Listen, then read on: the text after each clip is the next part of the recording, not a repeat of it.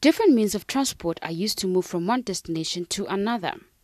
In Zambia, road transport remains the most popular system. However, little investment has been channeled to railway infrastructure, which could be an alternative. Unlike South Africa, which has introduced the Gautrain, which is of international standard, Zambia is still lagging behind.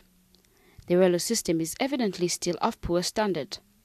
As for the Tanzania Zambia Railway Authority, TAZARA, which links Zambia to neighboring Tanzania, an estimated $770 million is required to revive the rail operations. This huge cost is the responsibility of the two governments. Akashambatwa Mbikusita-Lewanika, managing director at TAZARA, in his review of 2011 operations, has advised the two states to support entities like his, which will in turn support regional trade-related systems and other targets.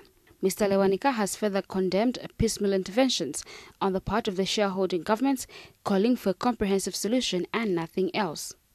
Indeed, the rail system, if improved, can lessen difficulties in the transport sector, which has local, regional, and continental gains.